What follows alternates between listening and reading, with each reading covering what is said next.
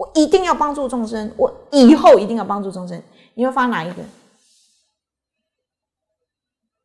我以后一定要帮助众生，表示你起码做被高，对吧？所以我把我把我的圆满留在以后嘛。再进阶一点，我应该帮助众生，应该帮助众生，差不多回到一个一个菩提心的状态而已嘛。我应该要帮助众生，没有能力的时候，我以后要帮助众生。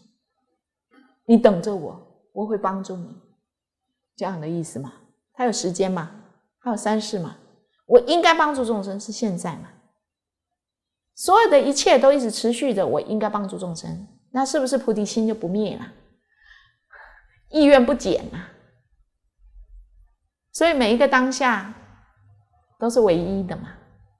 这样是不是不一样？修行人他不会去算那个重量跟那个那个东西。我们看别人是有，可是却不能。却不能固执那个有，